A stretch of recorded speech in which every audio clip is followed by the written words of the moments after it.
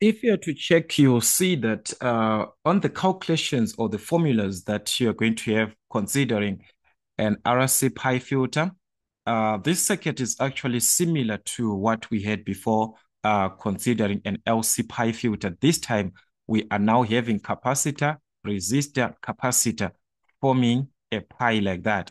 So it can also be referred to as a CRC uh, circuit, which is a CRC filter in this case. That is, uh, we are going to consider this, the capacitor, resistor, capacitor. This resistance is different from our load resistor. There is the load resistor, and I said before that the values across or over the load resistance are the ones that we are going to indicate with a prime. But just after the rectifier, we use the normal values, the normal current IDC and VDC, but across the RL, we are going to use the prime. So we're not going to waste much time. This is simply uh, similar to what we had before. So that is considering our RC pi filter. Uh, we are going to see uh, that the calculations, let's just write formulas in this case. So like I said, this also can be referred to as a CRC filter. Capacitor, resistor, filter. So you must be able to uh, understand that this is just one and the same. All right, so on our formulas, as we are going to see this time, we are going to have what we refer to as the resultant DC voltage.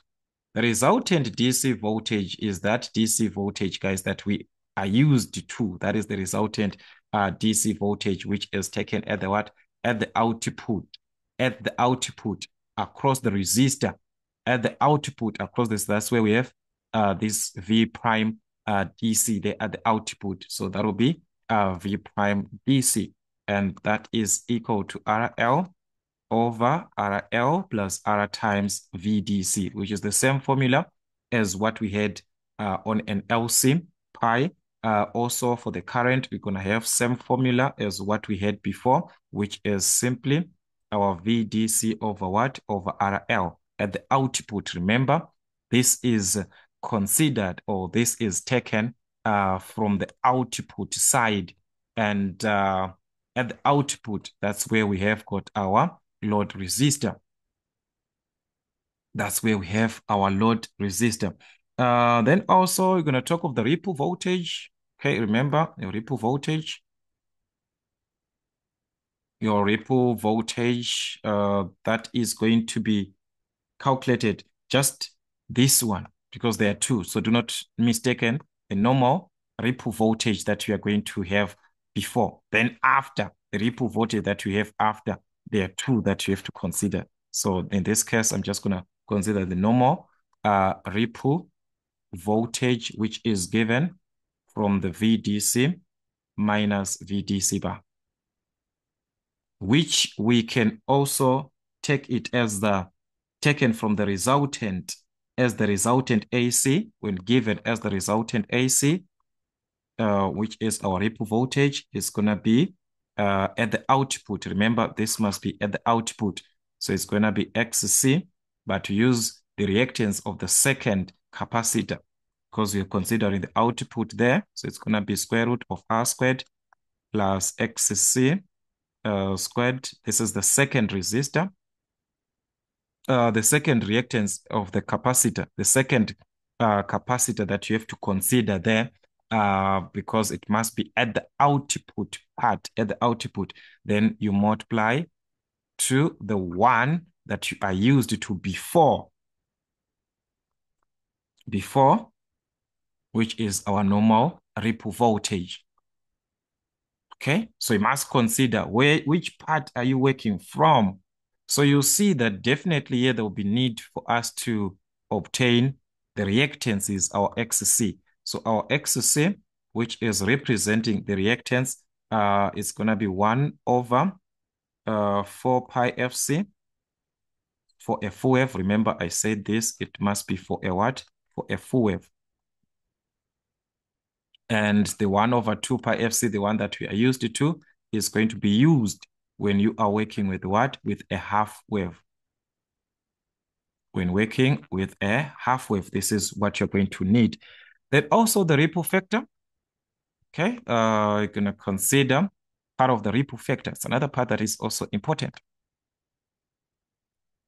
Calculating or determining of the ripple factor. So our R in that case, ripple factor can be R or it can be written as gamma. Uh, that is across C1.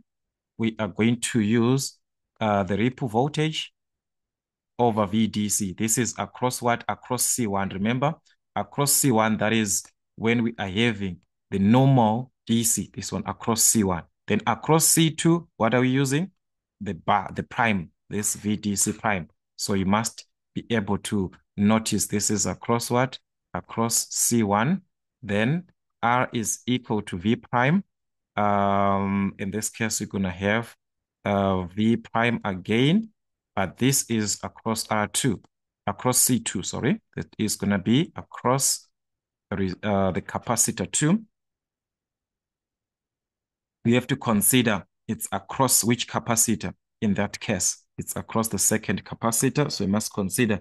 So when you are given about the DC component, they are simply asking you to calculate this VDC.